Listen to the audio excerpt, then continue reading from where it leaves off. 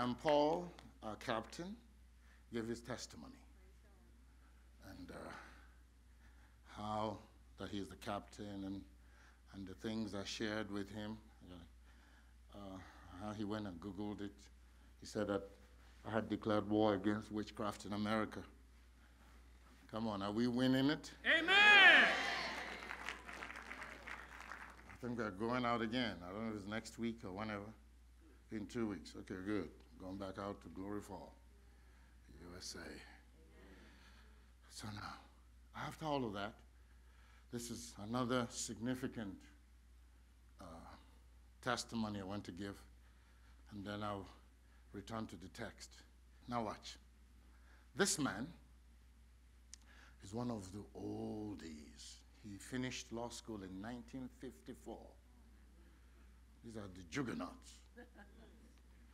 If you see him, you know he's had a very soft life, very refined. He took the mic and he said something that brought me to tears.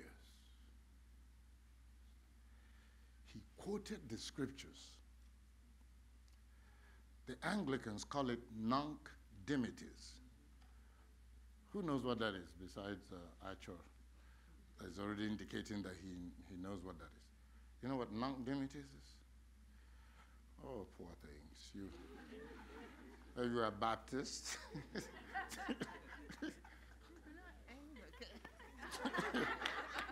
it's in the Bible. The prayer of Simeon. What it's called. He said, Lord, now let us thy servant depart in peace according to your word. For my eyes have seen the salvation of the Lord, which has given to Israel. That man got up and said, I am 84 years old. He said, From what I have seen, I know that Ubulu will be saved. Amen. Watch. Watch. And he said, So, Lord, now let your servant depart in peace. I have seen those who will save this place. I can now die knowing that this place is safe in the hands of those coming behind us. Oh, I cried. I cried. I can die now.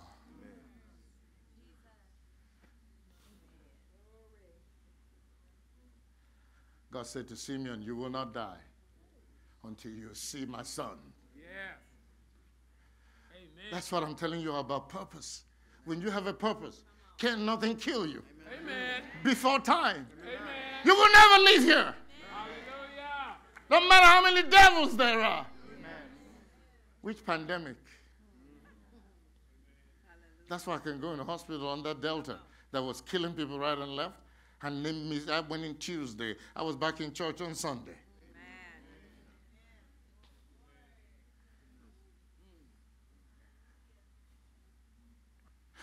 So, when I picked up my luggage to abbreviate it so I can visit the text, even though I've already blessed you from the text, even though I haven't Amen. preached it. Amen. You, you, get, you get what you need from there. All right, so I decreed, I said, nobody will open my luggage. Amen. I don't want to go through all this riffraff with these custom people. And of course, the enemy kept telling me, oh, you're carrying all this. You know, you're going to whatever, blah, blah, blah, blah. I said, keep running your mouth. How many times have you lost and you keep talking? Why won't you stop talking? So I got the guy to help me carry this, pushing this cart, and we're going.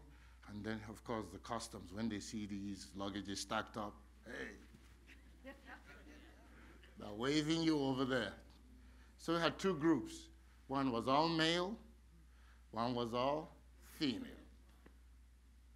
The male was saying, Come to us. Bishop, come over here. Then the ladies were saying, Oh, no, no, no, you come to us. So then I paused for a minute. So I decided to go with the ladies. But you know, ladies. Okay, let me cover myself with the blood of Jesus first. See now, because I've already come to them, but she still has to say something. Why were you even thinking about going to the men in the first place?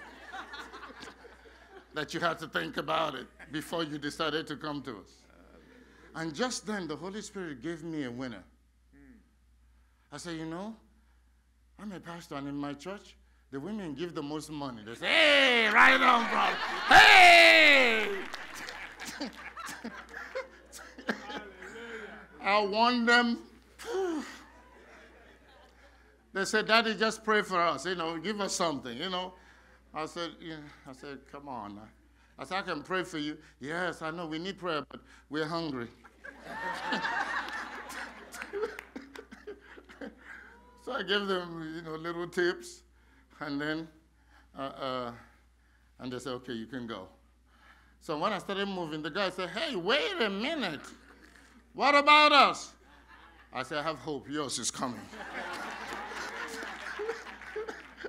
and I went on by my business. Hallelujah.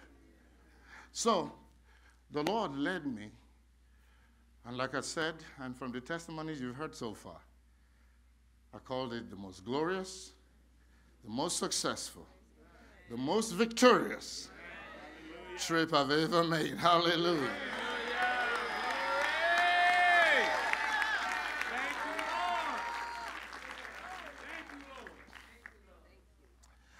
And I said that this one, just giving a testimony, is not good enough. I'm going to give a thanksgiving Amen. to the Lord. And I invite all of you that prayed with me and that sowed with me to come and thank God with me at the altar. I said I was going to do it next Sunday. They told me it was Father's Day celebration. I said, okay, then maybe the next Sunday after that. But I know I must do something Amen. to seal this breakthrough and keep it going. Hallelujah. From glory to glory to glory. Hallelujah. Hallelujah. Thank you, Lord. In Jesus' name. Amen. So let me work a little on this text. I've already released a lot of my zingers in them, and we've shouted on them. But there is something I want you to see because that is the struggle this is the one thing that's keeping people from walking by faith victoriously. That's why I mentioned counterattacks. Remember? These satanic counterattacks, and it makes you think that God forgot what he said. I want you to see what happens because this is why the Bible says in the book of Jude that after the Lord had delivered the people from Egypt, he, the Lord, destroyed them that didn't believe. Amen. You're carrying a destiny. But the Egypt in you Come on now. will not allow you to pass the test of destiny. Amen. And unfortunately, you don't have voices around you who will bring to your remembrance what God said. So you will know that your promise is greater than your pain.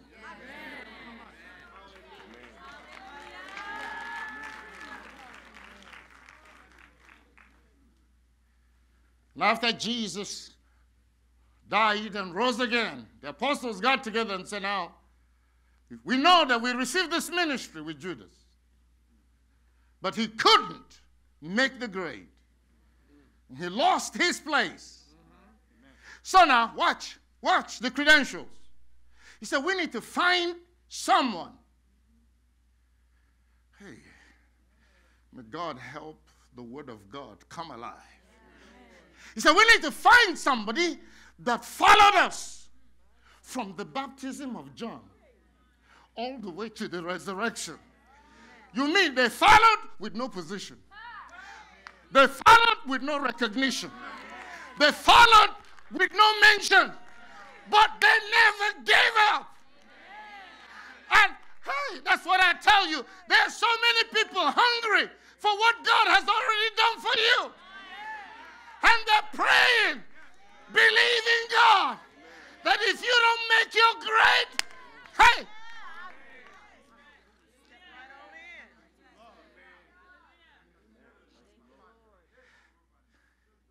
He said, Let us find. He said, You mean these guys? They weren't chosen as apostles, but they didn't leave. They had every reason to be rejected. They were not mentioned, they were not counted as anything. He said, Let's find those. That's who will replace Judas. Why? If you flaked out, then he who will replace you has to be a non flake.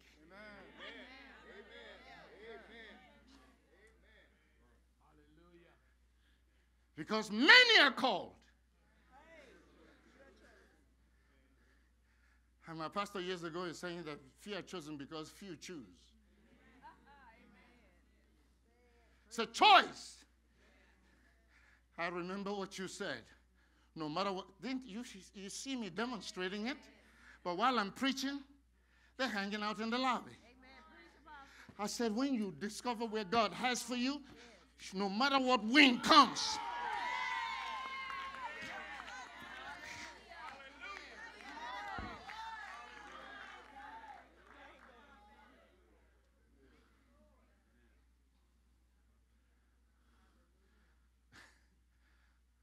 Judas ended up in hell. And somebody else took his place. Amen. Don't you know that God has enough people? Yes. I told you that. he said, Son, do you know how many people are fasting for 40 days and praying to me to give them half of what I have given to you?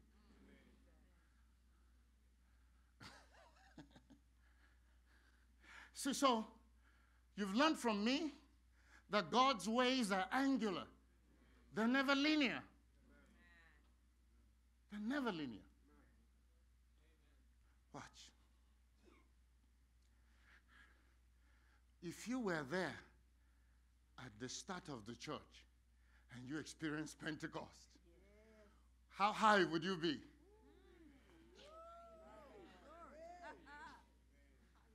Huh? And you watch.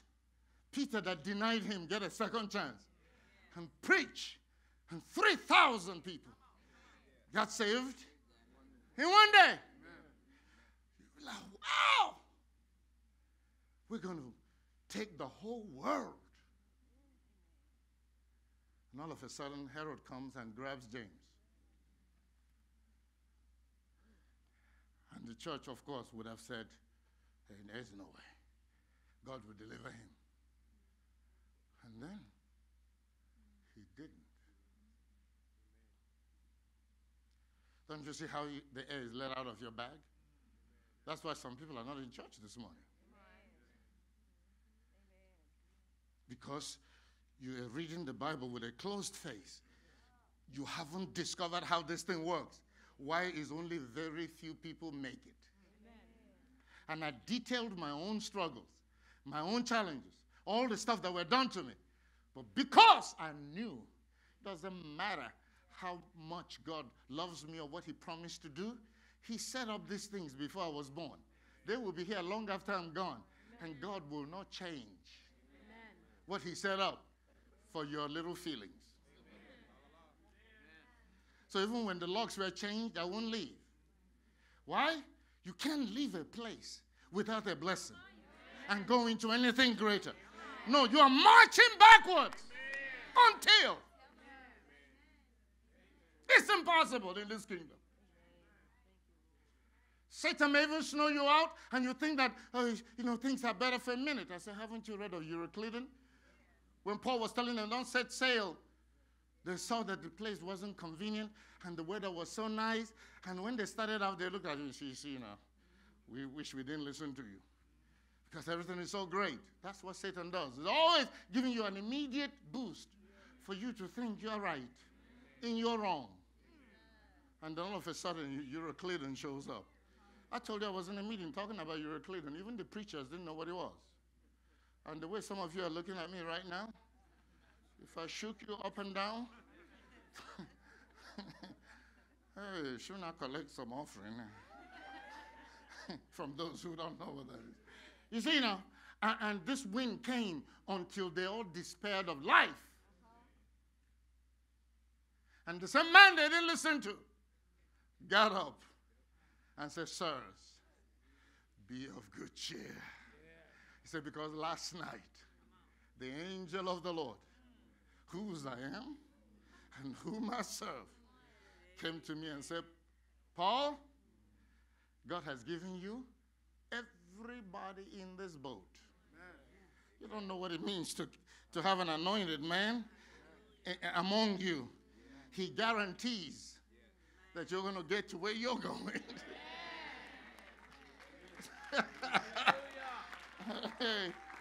he said, Now, the ship will be lost and all the cargo will be lost, but we'll all keep our lives. He says, You should have listened to me. This is the triangular or angular way life and destiny in Christ works. That's why believers can enter into it. Because things happen. You don't look like the promise. But you don't know that that, that thing that happened is your requirement to enter into that promise. And what people do is, oh, okay, I have a promise. I don't have to go through this. Yeah. It's like Jesus saying, well, hey, my father has said I will be King of kings and Lord of lords, so I don't have to go through this. No, it is in going through it that you become.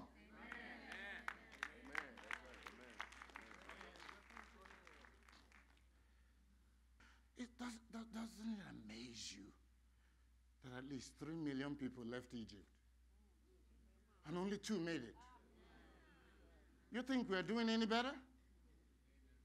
Satan is giving you and I every reason to flake out. Yeah, you get on a job and God will give you visions that you're going to be this, you're going to be that, and all of a sudden you go and start trying to initiate things and all hell breaks loose. And people that have been there all these years and haven't done anything. And they're jealous of what's happening now they start attacking you and all this stuff, and then you get mad and quit. Come on now. How you think that God will trust you to be director, but you can't handle a comment? You can't handle sabotage. You can't. do you know what I'm handling every day to be here? Week in and week out. Who, who is invited to the throne? You fight your way to it.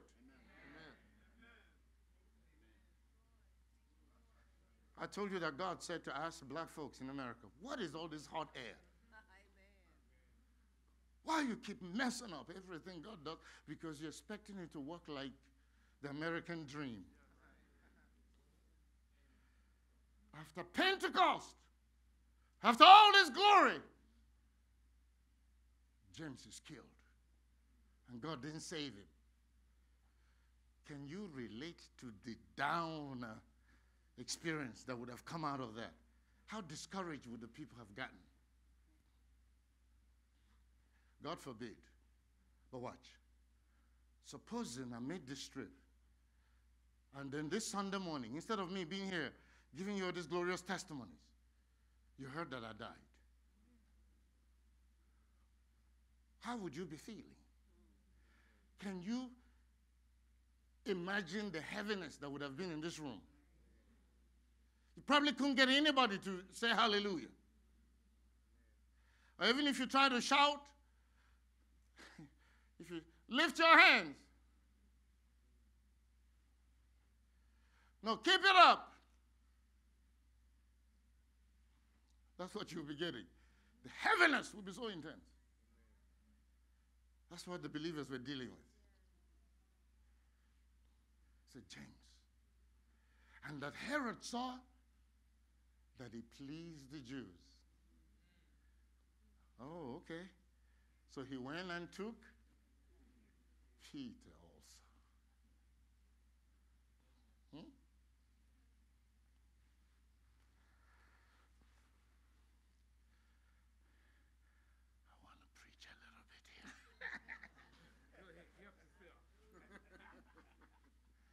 You see, because the sideway vision the side shows, are Satan's biggest weapons. That when you're trying to walk by faith, you see someone else's faith faltering, and you assume that you are the same. And I read my Bible and I found out that even if my brother falls, that doesn't mean I will fall. Because we are each on our own destiny. Hallelujah. Is somebody hearing me? Yes, if my brother dies, I'll go to the funeral. I put him in the ground and I praise God. But I come back and said, I shall live and not die and declare.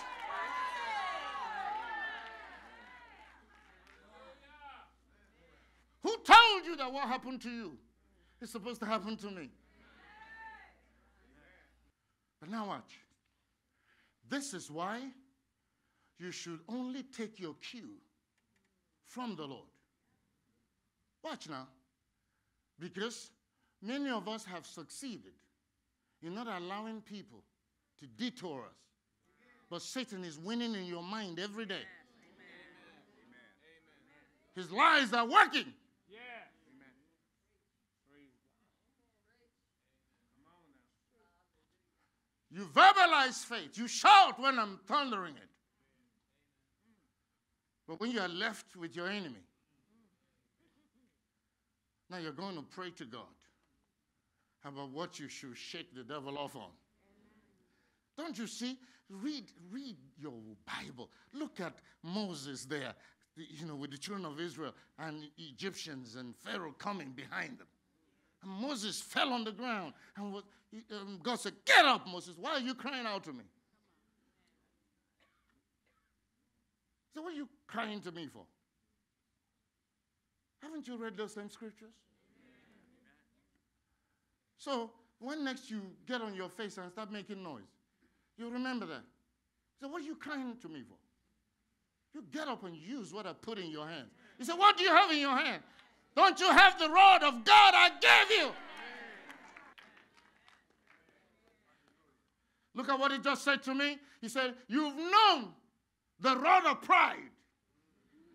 It's time for you to discover the rod of God, Amen. which is the word of God in your mouth. Hallelujah. The rod of God, the word of God in your mouth. Beloved, it's a miraculous understanding of faith. It is not a shout Sunday morning. It's not coming to church to feel better. It's a covenant commitment. You understand the way God set up his kingdom, and then you know it works exactly the same way. That if Jesus came out of the grave, that's actually the only reason we are saved. He said if Jesus didn't come out, we wouldn't be saved. So we have all experienced resurrection in the rebirth of our own spirit. So you must believe that the God that raised him from the dead, that raised you from the dead, will raise you again and again and again. Even in the old covenant, the Bible says the righteous fall it seven times and the Lord raises him up again. What's the problem? When they are working you to teach you these things, most of you rebel and go back out in the wilderness. You don't want to learn the covenants of God. That's why Israel died in the wilderness. Faith should be born out of a covenant relationship that you are confident in the Lord your God.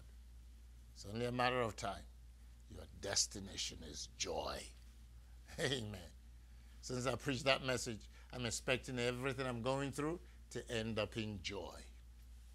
Count it all joy when you fall into diverse temptation. It says it will lead to joy. That's what the Word of God said. Whether you believe it or not, it's been there before you were born. You'll be here long after you are gone. But it says the same thing. This is destination joy. It was true for Jesus, it's true for you and me. So, what are you going to do? You can't sit there.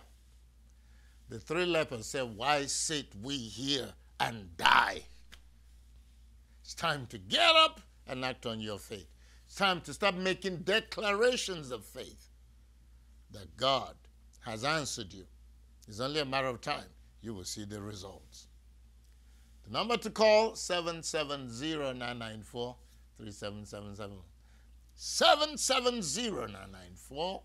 770-994-3777. Doesn't matter where you're listening to this broadcast or watching it around the world. The answer is the same.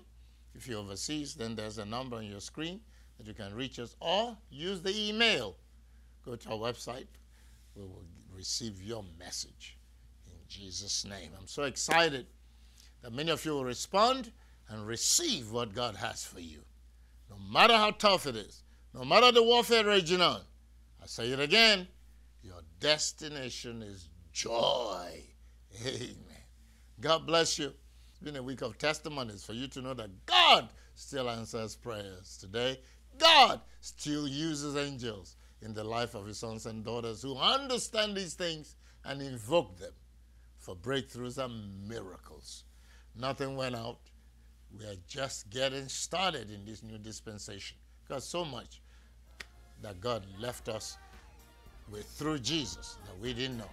And the leaders didn't have eyes to see, nor were able to teach us. We're breaking new ground. Come join us. Your life will not remain the same. Bye-bye.